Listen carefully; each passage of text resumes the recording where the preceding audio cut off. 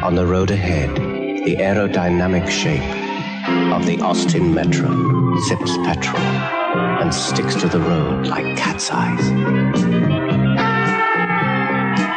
The shape feels bigger inside than out.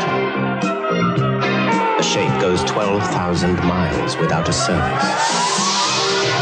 Austin Metro, the shape for the road ahead.